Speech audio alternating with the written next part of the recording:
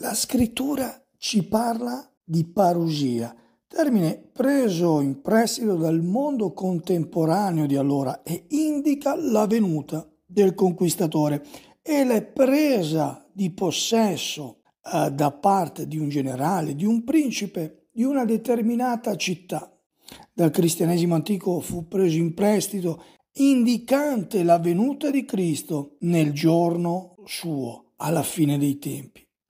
Gesù infatti tornerà nella gloria, come lui stesso ha promesso, a giudicare i vivi e i morti. Con i santi angeli di Dio egli verrà e instaurerà il suo proprio regno eterno, che non avrà mai fine, al compimento dei tempi, ovvero alla risurrezione finale.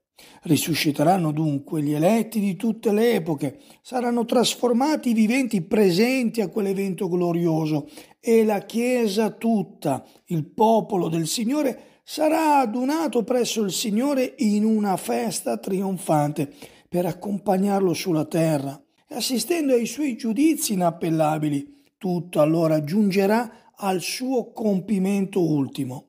Questo evento, predetto molte volte nella Bibbia, sarà potente, unico, glorioso, fisico, visibile all'universo intero. Infatti il Padre ha dato al figliuolo di esercitare il giudizio.